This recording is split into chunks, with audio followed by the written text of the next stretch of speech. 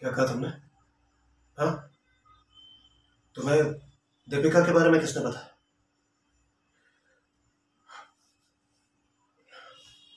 look this my person matter so please mind your business am warning for the last time मैं दीपिका के बारे में कोई बात नहीं करना चाहता। नहीं मैं उसके बारे में सोचना चाहता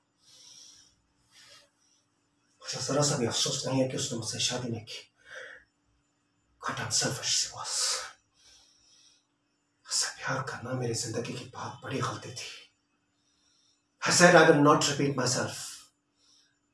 मैं दीपिका के बारे में कोई बात नहीं करूँगा क्योंकि मैं अपनी ज़िंदगी में मूव ऑन कर चुका हूँ I've made a name for myself.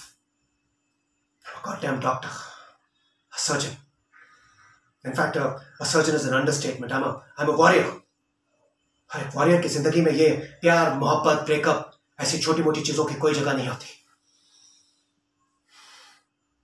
Hope इस सवाल को पूछकर आप बहुत खुश हो गए होंगे।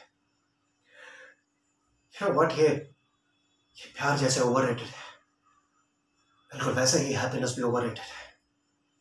इंसान की खुशी, ये प्यार मोहब्बत में नहीं होती। इंसान को खुशी मिलती है किसी मकसद को पाकर। और मुझे मुझे अपना मकसद मिल चुका है। मेरा मकसद है एक सर्जन की तरह लाखों लोगों की जान बचाना।